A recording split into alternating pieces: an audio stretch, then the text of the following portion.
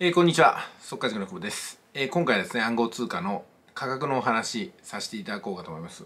まあ、ビットコインが8月になって500万円を大きく割っていく割っていくんじゃなくて上回っていくっていうことですかね。上回っていくのはずいぶん前から予言されていたことで、まあ、それが先行してねイーロン・マスクさんのイーロン法によってドカーンと700万まで上がったところから急落したんで皆さんびっくりされたと思いますけども300万円台まで掘り込んだビットコイン結局は8月に予言通り500万円をクリアしてそれからというもの500万円を割ることがなかったと思います。現在の価格が530万ということで年内に1000万というのはちょっとね盛りすぎだとしても2021年今年ですよね。今年中にこの500万円の水準を維持できればまあまあ堅調な流れになってくるんではないかなと思います。まあ、ビットコインにつきましてはね、えー、まだまだ知名度が広がっていって利用者が増えていく、まあ、利用って言っても保有しておく人っていうことですかね。まあビットコインにちょっと交換しとこうかなって人はこれから減りはせずに増える一方だと思いますので瞬間的に減ったにしてもしっかりと持っておけばいいんじゃないかなと思います。ただねやっぱり余剰資金がない方は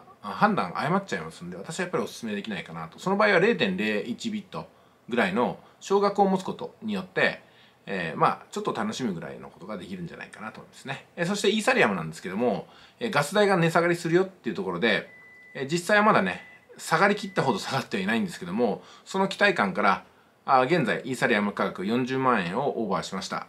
一時期ね20万円前後まで衰退してしまったんですけどもずっとお話してる通りに20万円以下でイーサリアムを買えばまあ損することはないんでここから100万円を目指すイーサリアムに乗っておくのはいいんじゃないかなということでした。それがまあ今でも同じようなね、え考え方で推移してるってことになります。でカルダノADAなんですけどももう言うまでもなく300万円を割ることはあ300万円じゃない300円を割ることはあんまりなくなりましたよね。ステーキングも順調に行われてますしステーキングをずっとしていく方がホルダーが多ければ多いほどこのカルダノADAの300円という価格は壊れにくいと。そして400円500円の方に向かっていくんじゃないかなと思います。日本ではビットポイントジャパンも取引を開始しますし今月の中頃ですかね。